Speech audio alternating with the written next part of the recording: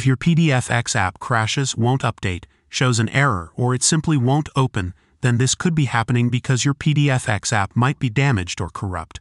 So follow the steps on this video to learn how to fix your PDFX app in a quick and easy way. First open the Start menu.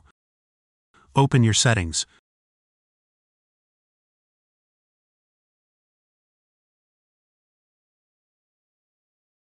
Open Apps. Open the Installed Apps section.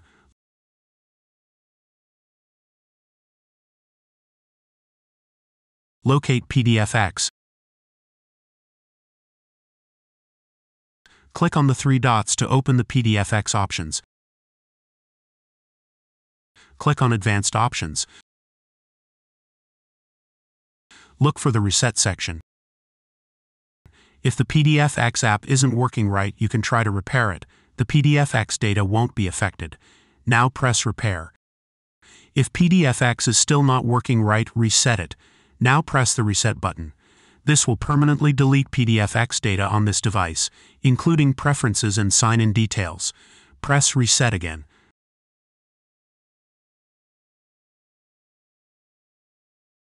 If PDFX is still not working, you could try to reinstall it.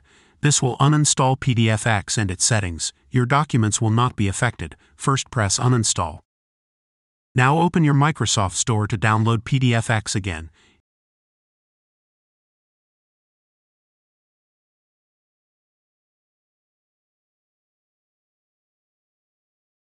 Search for PDFX. Click on PDFX.